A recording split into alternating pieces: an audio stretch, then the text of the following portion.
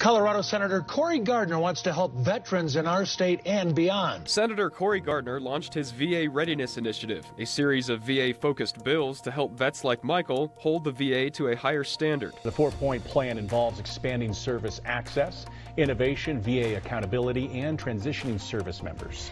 I'm very appreciative of what Senator Gardner and his team have put together here. Uh, four pillars of veterans advocacy uh, with six different initiatives that affect uh, the quality of life of veterans in, in so many different areas. I'm hoping that this legislation helps all of our veterans and their families um, to be able to live a life they deserve after defending their country. These are the pieces of legislation that we believe are important to make sure that we are ready every inch of the way to serve our veterans after they serve us.